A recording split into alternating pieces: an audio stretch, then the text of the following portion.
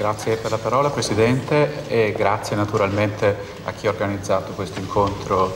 importante su un tema eh, decisamente, come si capisce, problematico. Problematico penso perché eh, genera eh, una serie di reazioni mio modo di vedere, qualche volta anche in una certa misura forse potenzialmente eversive rispetto a un certo tipo di impostazione, non, non oserei dire tradizionale, ma sicuramente ormai consolidata in campo biogiuridico o bioetico. Mi, mi riferisco a questo. Io, mh, siccome avevo in mente di fare una relazione un po' più ampia,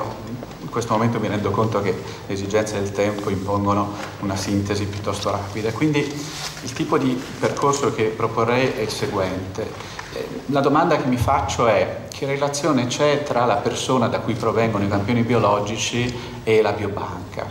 per dirla in maniera semplificata. Eh, e mi pongo questa domanda sulla scorta di un orizzonte diciamo, valoriale che va da una parte eh, ad affermare il principio che mi sembra eh, in qualche modo eh,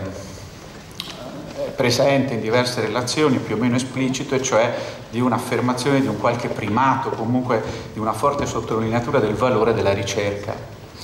E dall'altra invece i valori, diciamo così, tradizionali, nel senso della tradizione del biodiritto, e cioè i valori dell'individuo, della persona e del consenso informato, eccetera, eccetera. Se vogliamo, la bandiera dell'autodeterminazione che è frequentemente invocata in questo settore. Eh, se si vuole in qualche modo insistere sulla dimensione del valore della ricerca come valore prioritario in questo campo, riducendo tutta quella serie di prerogative eh, come per esempio la libertà di revoca del consenso, eccetera, eccetera, a me sembra che l'approdo dovrebbe essere quello di in qualche misura una declinazione del principio dell'articolo 32 della Costituzione secondo comma, pensando che anche qui potremo immaginare coloro che forniscono i campioni biologici come, non dico sottoposti ai trattamenti sanitari obbligatori che sarebbe una cosa un po' perversa, ma in quella logica, diciamo così, ragionare per, in chiave ovviamente eversiva, eliminare tutta una serie di prerogative che siamo abituati invece a considerare in questo dibattito.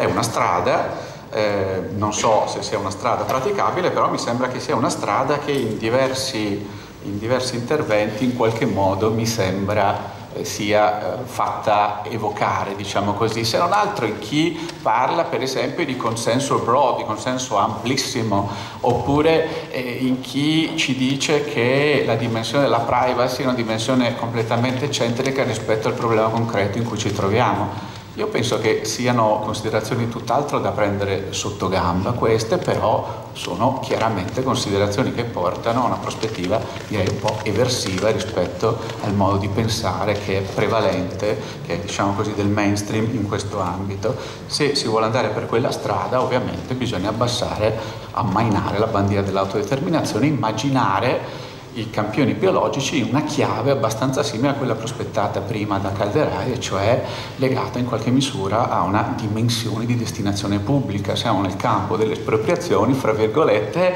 o qualcosa di simile, e, e quindi ci muoviamo in quella direzione. L'alternativa è quella di stare su diciamo, le strade consolidate e pensare invece nella chiave comunque se non altro di un bilanciamento tra la tutela pubblicistica o la tutela dell'interesse generale e la tutela delle prerogative individuali, del privato, dell'individuo, eccetera. E in questa chiave a me sembra che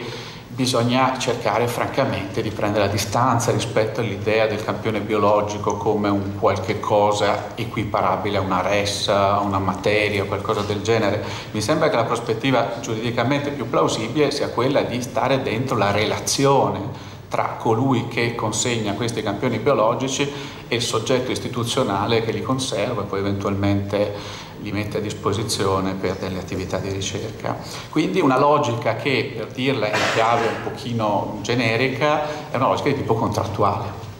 Solo che la logica di tipo contrattuale è una logica che di per sé è spesso pensata in chiave sinallagmatica, cioè è pensata secondo l'idea che uno dà e l'altro riceve e viceversa. Mentre ancora una volta noi ci troviamo di fronte ha un'idea prevalente in questo settore per cui tutto quello che ha a che fare col corpo umano è soggetto, diciamo così, ad atti di disposizione. So che questo termine non piace, però io credo che tutto sommato è difficile trovarne uno più significativo, o ad atti di messa a disposizione, ma non so quale sia la differenza eh, significativa. Comunque atti di disposizione a titolo gratuito. Il principio del titolo gratuito, il dogma del titolo gratuito è difficilmente scalfibile in questo settore. Allora,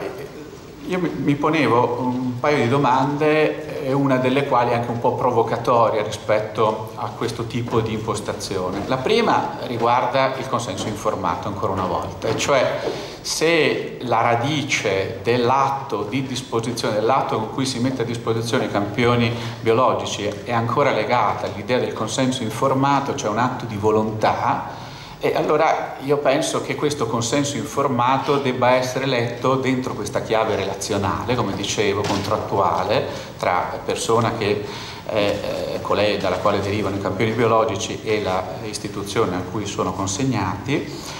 da vedersi come una sorta di rapporto cornice un rapporto cornice dentro il quale insisteranno tutta una serie di attività e di atti di specificazione, perché non posso accettare l'idea che si possa considerare consenso informato in senso preciso e accettabile un consenso ampio estremamente largo. Consenso largo è giuridicamente un consenso nullo perché ha un oggetto indeterminato e quindi non può essere plausibile giuridicamente accettabile allora pensare a filoni di ricerca, come è stato detto, insomma a qualche forma di specificazione più ristretta che dia avvio a questo tipo di relazione, dentro la quale però secondo me è inevitabile, se la si pensa in questi termini, non pensare ad attività ulteriore di ricognizione circa la volontà della persona di eh,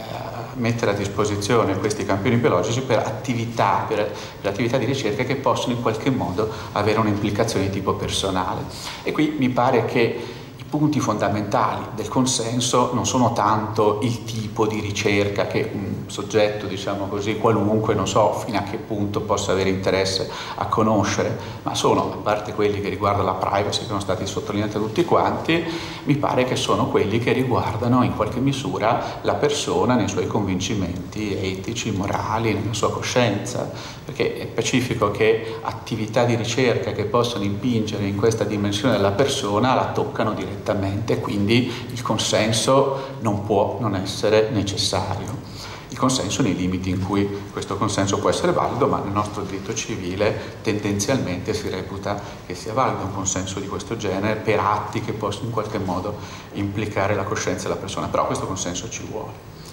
L'altra provocazione, la vera provocazione invece riguarda la, il dogma della eh, non onerosità, della gratuità. Eh, questo dogma, eh, secondo me, ha moltissimo senso quando si tratta di atti di disposizione che riguardano parti del corpo umano, ed è un'ovvietà, eh, mi pare che eh, fare riferimento al modello degli atti di esposizione di parte del corpo umano sia decettivo rispetto invece al tema dei campioni biologici. Io dispongo di una parte del corpo umano per una destinazione, sia pure mediata attraverso i filtri che sappiamo, verso una persona determinata e con una funzione determinata. Metto a disposizione campioni biologici per una serie indeterminata di operazioni verso persone indeterminate con funzioni assolutamente le più varie. Quindi mi pare che qui il discorso sia completamente diverso e perciò il dogma, diciamo così, della gratuità che vale in quel campo non mi pare che sia trasferibile direttamente in quest'altro campo, così come l'articolo 5 del codice civile non mi sembra un articolo tanto facilmente richiamabile in questo settore. Piuttosto la domanda che mi faccio è questa, perché è previsto che quando si fa riferimento ad atti di disposizione, di parti diciamo, del corpo umano, di elementi in qualche modo riferibili alla persona umana, perché si tende a pensare che questi atti di disposizione possano essere limitati soltanto agli atti a titolo gratuito. Ora, qui qualcuno sostiene, a mio parere in maniera eh, un po' eccessiva, che l'unica ragione sta nel fatto che si vuole tutelare un principio di uguaglianza, cioè siccome è discutibile che una persona sia disposta per esempio a eh, mettere a disposizione un rene eh, normalmente lo sarà nella misura in cui si trova in condizioni economiche tali per cui tutto sommato per quella persona può essere assolutamente importante farlo, ma appunto dietro un corrispettivo. Allora per questa ragione si dice per rafforzare il principio di uguaglianza ecco che si prevede il limite agli atti unicamente gratuiti. Io trovo che questo non sia un argomento valido perché questo argomento vale allora dovrebbe valere per tutti quanti gli atti di esposizione, dalle case ai topolini alle parti del corpo umano. In realtà è evidente che se si limita agli atti gratuiti, gli atti che si riferiscono a parti del corpo umano, lo si fa perché quelli hanno una dignità diversa da tutto il resto. E quindi il criterio fondamentale per distinguere è la dignità umana in questo campo, anche se è un criterio difficile da determinare, rimane pur sempre l'unica ragione che ci spiega questa limitazione. Ora io mi domando, ma nel caso della messa a disposizione di campioni biologici, vista in qualche modo anche la necessità che da più parti viene evocato, quantomeno l'opportunità di ridurre gli spazi di libertà di revoca del consenso, per quale motivo non si può pensare che là dove non si vadano a toccare dati molto sensibili non ci possa essere uno spazio invece per una qualche forma di corrispettivo, qualche forma intendo dire corrispettivo? Faccio un esempio semplice, noi ci troviamo in una società in cui il dato è diventato un valore economico, io stipulo un contratto con Whatsapp e credo ingenuamente di stipularlo a titolo gratuito, in realtà sappiamo benissimo, quelli che hanno un minimo di conoscenza di queste cose, che Whatsapp invece ricava da me tutta una serie serie di dati che poi potrà riversare, rivendere, eccetera. Quindi il contratto è apparentemente gratuito, ma di fatto simulatamente corrispettivo, senza che però le parti siano in grado di rendersene conto. Mi chiedo se se si vuole in qualche misura ridurre gli spazi di libertà di consenso, eccetera, nell'ambito della gestione del rapporto tra soggetto e biobanca non si possa dare o non si possa immaginare in qualche modo una qualche forma di corrispettività, la quale però determinerebbe delle conseguenze interessanti. La prima, se vogliamo, dare maggiore certezza e sicurezza nell'utilizzazione dei, dei campioni biologici. La seconda, però, spesso non è molto fatta oggetto di pensiero, è la responsabilità, perché in tutti questi moduli che io ho visto, anche quello che vi ha mostrato il collega, ci sono sempre clausole di esonero dalla responsabilità responsabilità che sarebbero incompatibili con un contratto serio, vero e proprio. Quindi non è detto che la tutela di colui che mette a disposizione campioni biologici passa necessariamente attraverso la gratuità. Potrebbe darsi in qualche caso, sia ben chiaro, che invece sia più rafforzata attraverso la non gratuità. Dico questo tenendo